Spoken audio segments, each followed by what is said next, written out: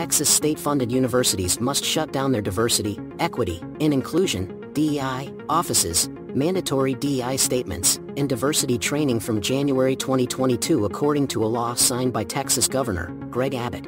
Public colleges or universities not complying with the mandate lose their access to state funds. The Republican State Senator, Brandon Creighton, who sponsored the bill shutting down the diversity offices stated that the measure would enable Texas schools to focus on the strength of diversity.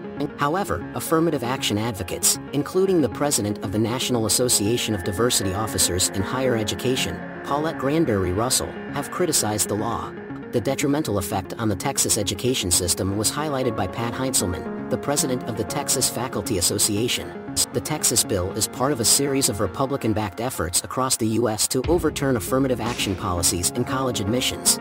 The Supreme Court is expected to rule this month in a case challenging the constitutionality of considering race in admissions to universities.